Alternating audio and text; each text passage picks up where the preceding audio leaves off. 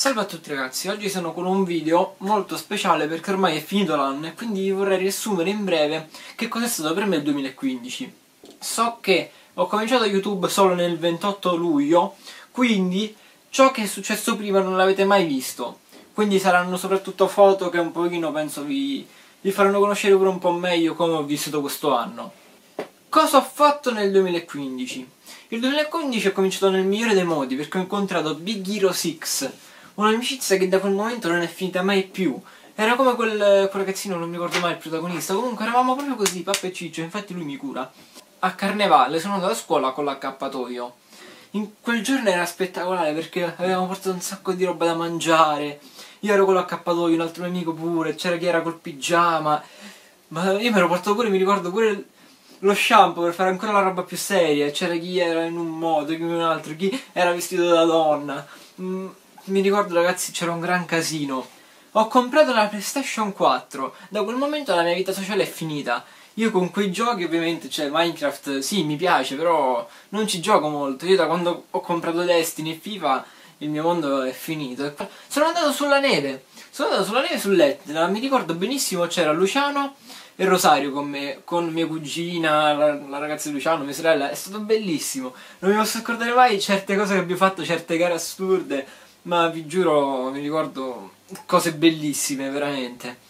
Poi ho creato un cannone un cannone che ancora non ho usato l'ho creato con Gianluca. È stato qualcosa di, di strano perché ci siamo messi là insieme abbiamo cominciato a tagliare il legno, a fare abbiamo spaccato pure un camioncino per attaccarci dentro questa canna dove si dovrebbe sparare. Infatti stiamo aspettando un sacco di tempo e ora che bene o male a Capodanno si hanno anche i botti chi lo sa forse uscirà qualcosa poi un'altra cosa che ho fatto è una partita di rugby, una partita vi giuro Italia, se mi ricordo Italia, no, Italia Italia-Irlanda del Nord, Italia-Irlanda del Nord, che c'erano questi che bevono eh, eh, tutta sta festa che non finiva mai, una cosa assurda, invece noi niente, abbiamo perso, l'Italia ha perso in una maniera incredibile, però mi sono divertito davvero un sacco, perché non è come il calcio alla fine, è un qualcosa che tiene pure più uniti. E c'è stato anche Romix, lì ho incontrato Mike Shosha con Ambra, mi ricordo benissimo quel momento che, vi giuro, io, come sapete, io amo Mike Shosha, che è qualcosa che è l'unico, diciamo, l'unico youtuber che veramente voglio davvero molto bene e lo stimo come persona, non che gli altri mi fanno schifo. E quindi mi ricordo, dopo che aspettavo un sacco di tempo, lo vedo, Mike Shosha, corro e per fortuna riesco bene o male a parlarci, avere diciamo, una foto, un autografo e a chiedergli anche una foto alla sua ragazza Ambra, per, di tutto rispetto, giustamente. Se vedete questo video, cosa assurda, però ciao. Poi ho comprato una Lamborghini, sinceramente mi ero messo un po' di soldi da parte, quindi ho detto perché non comprarla, ci stava tutta, quindi sì. Ho fatto una foto strana nella Villa Adriana, cioè mi sono messo lì con dell'estate ho fatto delle foto un pochino strane, però erano divertenti, quindi ho detto perché no. E dopo quello sono stato pure a Mirabilandia, mi ricordo un'esperienza bellissima, molto divertente. Poi ho pitturato delle magliette con Giorgia.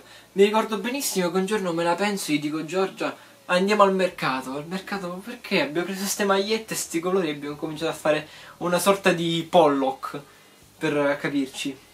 Poi ho incontrato Bruno Vespa. Bruno Vespa l'ho incontrato nel posto più strano che mai uno può incontrare Bruno Vespa. Mi ricordo benissimo che dovevo partire per Londra, perché sono stato anche a Londra. E che cosa è successo? Nell'aereo ci stava Bruno Vespa e quindi ci abbiamo parlato un po', io ho fatto un selfie, poi la dogana l'ha fermato, cose strane. Però io sono tranquillo, lui aveva pure fretta. A Londra, sono stato a Londra come, sto, come stavo dicendo, d'estate, e mi sono divertito davvero tantissimo. È stato un qualcosa di mai provato perché non c'ero mai stato a Londra e quindi visitare un pochino la zona, poi sono stato in un college, il college è qualcosa di spettacolare e quindi mi sono divertito tantissimo. E infatti faccio questo esempio, ho incontrato pure Pelé, la regina, Miley Cyrus e tante altre statue che c'erano là, ovviamente a Madame Bovary non erano vere, eh. Però è stato bellissimo perché poi nel parco c'erano scoiattoli spettacolari che si, si, avvicinavano, poi erano un sacco di persone.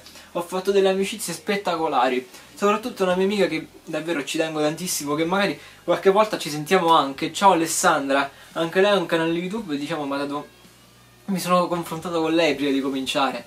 Perché lei comunque abbiamo parlato, abbiamo avuto comunque l'occasione, siccome eravamo nel gruppo insieme, di passare anche più momenti rispetto ad altre persone che proprio non, non le vedevo.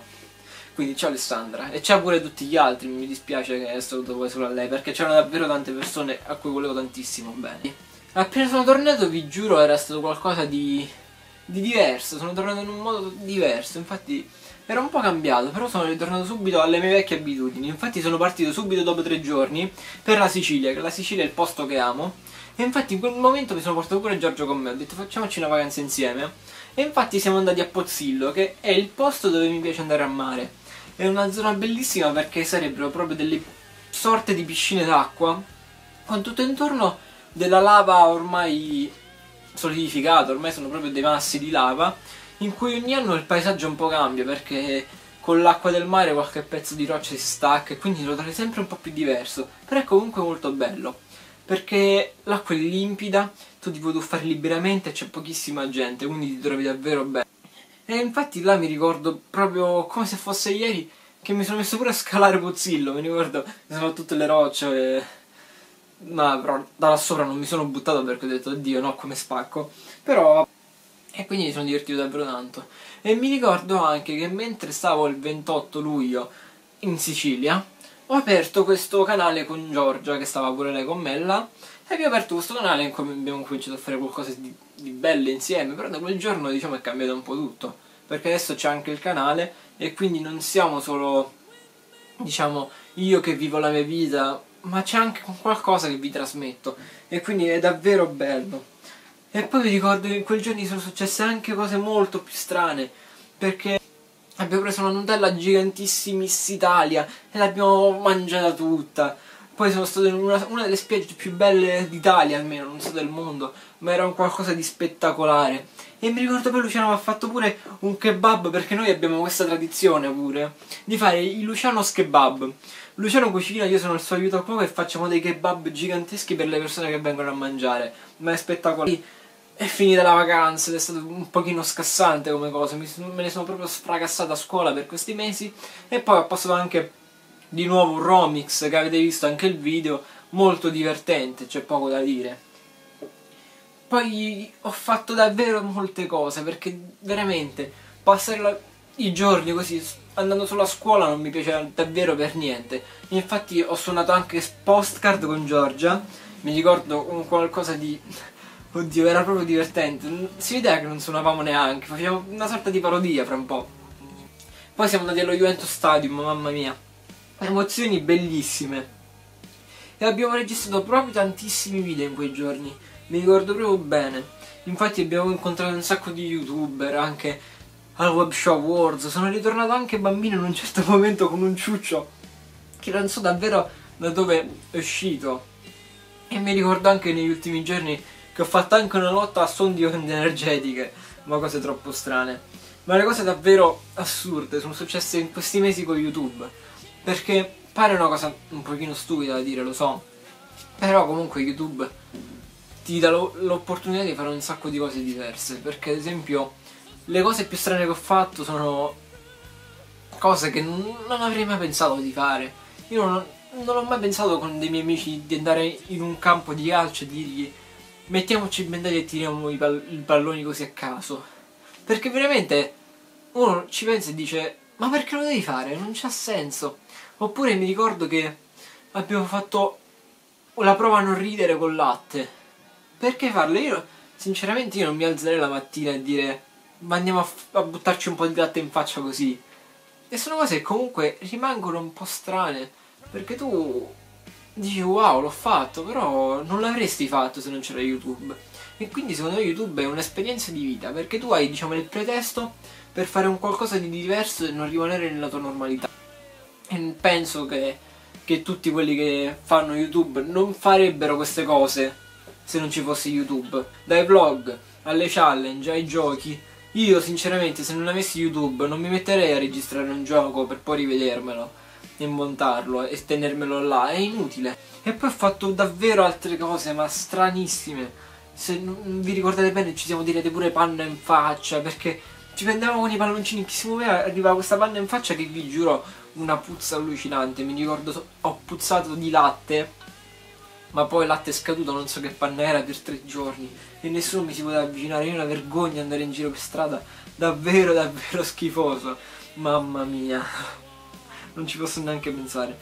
E poi ci siamo legati delle sedie perché così prendi lo scotch e legati alle sedie, mi ricordo benissimo, abbia tagliato pure un pochino la sedia e quanto ci, ci, ci hanno fatto neri, mi ricordo benissimo, mamma mia perché potevamo stare attenti, invece abbia tagliato per sbaglio la sedia. Quindi shh. Poi c'è stato il traguardo dei 100 iscritti che veramente non mi aspettavo in così tanto, diciamo in così poco tempo, era qualcosa che io non mi immaginavo, perché io YouTube l'ho aperto sì, ma per trovare una persona, anche una solo me ne bastava, che dall'altra parte, diciamo, piaceva il video che facevo. Poi ho fatto cose strane anche con i miei amici, perché sinceramente fermarci, perché no? E abbiamo fatto anche Whisper Challenge e roba varia, ad esempio ho litigato pure con mia sorella perché così ho detto litighiamo un giorno, abbiamo litigato.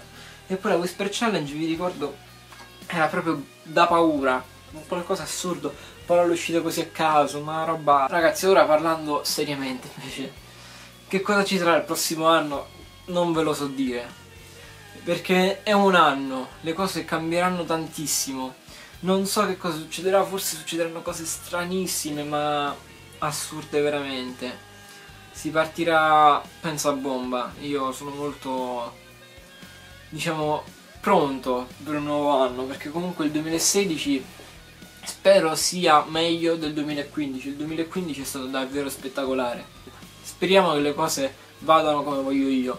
Se le cose vanno come voglio io, spero che ci divertiremo insieme.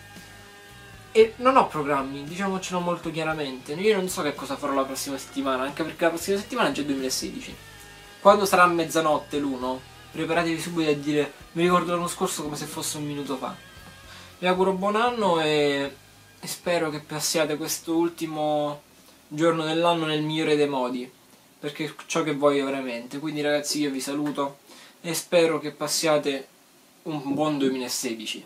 Grazie a tutti commentatemi sotto nel video che cosa fate e che cosa avete fatto in questo 2015 le cose più belle vi giuro le leggerò con molto piacere ma pure cose stupide non me ne frega niente basta che ecco abbiamo un discorso face to face quindi ragazzi io vi saluto grazie per l'attenzione e al prossimo 2016 video uh -huh.